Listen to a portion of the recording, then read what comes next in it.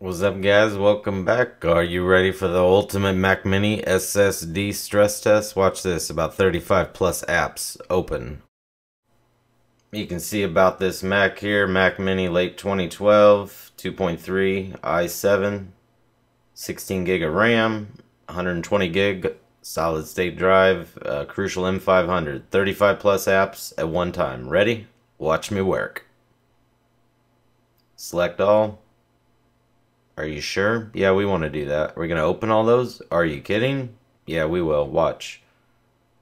The power of a solid state hard drive, folks. Ba-da-da. Oh, that's so awesome. Yeah, this is not sped up. This was captured uh, using uh, QuickTime Player, built right in, capturing doing screen recording. So that was real time, not sped up. That was about 35, 40 apps. So pretty impressive with the new upgrade. And we've got the, check out the channel. You can see the upgrade we recently did to that Mac Mini as well as all of our other great videos. So as always, this is brought to you by Fast Electronic and Loud. We always bring it to you fast, electronic, and of course loud. If you like this, give us a like, subscribe to us, count the number of apps open on that screen right there.